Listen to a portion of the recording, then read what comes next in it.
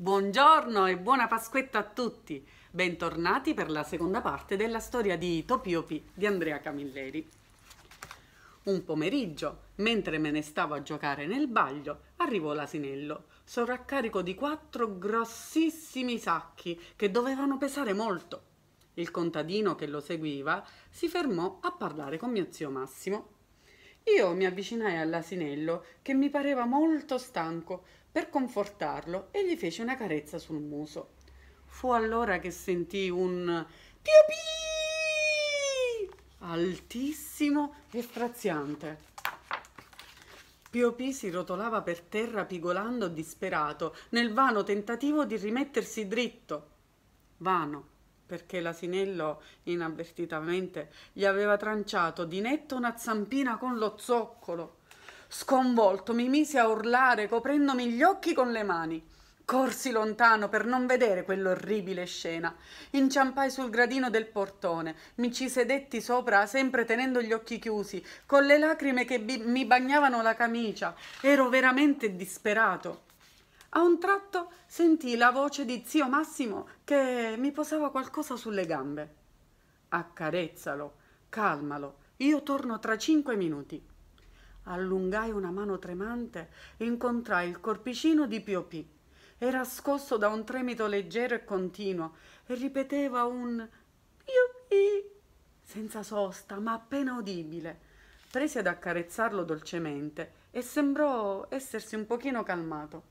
Non osavo né guardare né toccare la zampetta ferita.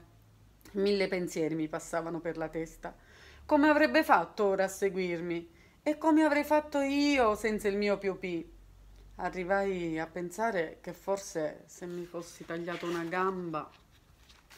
Per fortuna arrivò zio Massimo con in mano una casetta, cassetta degli attrezzi. Lo zio, che da giovane aveva lavorato come orefice, si armò di un seghetto, di un metro da sarta, di una cannuccia sottile e resistente e di un pezzettino di stoffa e poi mi disse Mettilo a pancia all'aria e non farlo muovere. Misurò la zampetta sana, misurò il moncherino rimasto, fece un rapido calcolo mentale e segò la cannuccia. Poi la prese e verificò dentro e la infilò dentro il moncherino della zampetta di Piopì. Rimisurò le due zampette, erano della stessa lunghezza. Con la punta del suo coltello praticò due fori nella parte alta della cannuccia vi infilò un filo di raffia, uno spago vegetale e rimise il moncherino dentro la cannuccia, legandola con la raffia alla coscia di Piopì. Passò molto tempo a rimboccare un pezzetto di stoffa tra la cannuccia e la zampa del pulcino per essere sicuro che non gli facesse male. Poi lo prese e lo posò per terra. Pio Pio se ne restò per un momento immobile, interrompendo perplesso il suo pigolare lamentoso. Poi avanzò lentamente la zampina artificiale, vi poggiò sopra il corpo e mise avanti la zampetta buona. Aveva fatto il primo passo, pigolò un piopì di soddisfazione e cominciò a camminare, sia pure un po' incerto e sbilenco, eh, sia un po' squilibrandosi riacquistando l'equilibrio con l'aiuto delle alucce. Due giorni dopo era tornato a essere la mia ombra. L'unica cosa a cambiare era stato il suo nome. Infatti, da quando aveva subito l'operazione, la sua zampetta di cannuccia, quando appoggiava sul pavimento, faceva un suono leggero come to, to, to. E così io lo ribattezzai Topiopi. Era ormai trascorsa una settimana dall'incidente e tutto pareva dimenticato, ma una mattina appena svegli avevo posato Topiopi per terra quando il pulcino cadde su un fianco mettendosi a pigolare il suo Piopì tra il lamentoso e il, l'arrabbiato. Io lo presi, lo rimisi dritto e lui ricadde. Allora capii che Topio P era cresciuto e la zampetta di cannuccia era diventata troppo corta rispetto alla zampina sana. Zio Massimo intervenne subito con la sua tecnica di alta precisione chirurgica, adoperando una canna leggermente più lunga e solida. Questa volta il pulcino, forse consapevole dell'operazione che si sarebbe dovuta ripetere via via che lui cresceva, se la lasciò fare senza protestare, cosa che infatti avvenne puntualmente.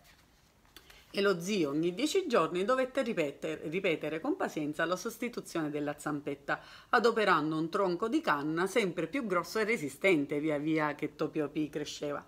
Era diventato un pollo e, come un adulto, non divise più il letto con me, preferì andare a dormire nella sua cesta.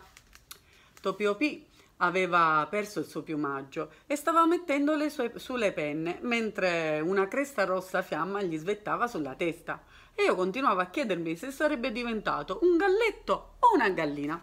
Fu Topio P stesso a darmi la risposta.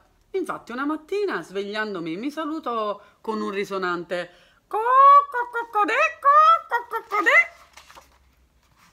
io mi sentii riempire di orgoglio Certamente ero l'unico bambino al mondo ad avere come amica una gallina con una gamba di legno. Ci vediamo domani con un'altra storia. Ciao ciao!